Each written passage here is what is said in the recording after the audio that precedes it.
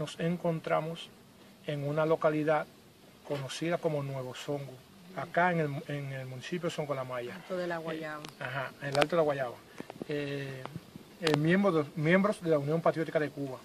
Acá con una hermana, eh, una ciudadana que tiene su padre aquí postrado, enfermo, y ella me dice que, que no ha recibido ayuda de por parte del gobierno y una pequeña eh, chequera le dieron a este señor que Una trabaja ayuda asistencial. Ajá, eh, para comprar su medicina. A continuación ella dará un te- te- te- testimonio, eh, ¿cómo se llama? y eso, ¿Cómo es que se llama? Bueno, yo me llamo Castillo.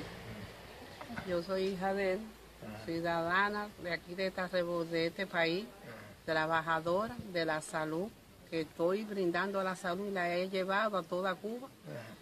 Y más sin embargo, hoy en día me encuentro con el mío aquí en Cuba, donde no ha recibido ningún tipo de atención ni ningún tipo de nadie, ni de organismo, ni trabajadora social, ni nada, cual mi padre se encuentra en pésima condición, lo que yo he tenido que abandonar mi trabajo para atender a mi papá. A caso de que cuando yo llegue allí me digan de que no puede, pero bueno, voy a esperar a que llegue eso para entonces llevarlo a todo, a todo municipio, a toda provincia, a todo nivel, porque el caso de mi papá es un caso que el que no se conduele en esto es porque no tiene conciencia ni Mi sentimiento humano. Exactamente, entonces aquí estoy luchando con él sin recursos de ningún tipo, dándole lo que me aparezca de, de comida. No tengo leche para darle, tengo que sacrificarme, vender dos manos de fongo o cuatro para que sea el cupo de 25 pesos, que es lo que vale un paquetico de leche, que lo que me dura nada más son tres días.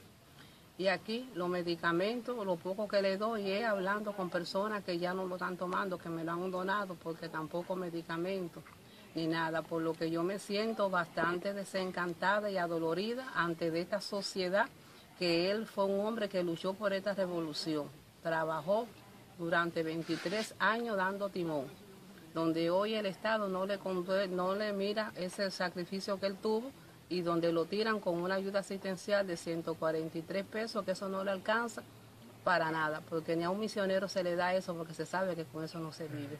Llegando donaciones aquí para los enfermos y todo, y todo es cuento, todo es habla, habla, pero a la hora de de verdad ver los cuerpos atendiendo a una persona de la tercera edad en la condición en que está, todo es negativo. No, tiene, no tengo nada que expresar, todo es con mi dolor ante esta revolución que bastante costó y bastante mal tiré ahí debajo de la tierra por esto. Y que los grandes son los que se están echando los bolsillos, llenándose los bolsillos. Y hoy en día el que se ha sacrificado, que ha dado aporte por esta sociedad, no percibe ningún tipo de, De ayuda De ayuda. económica ni social.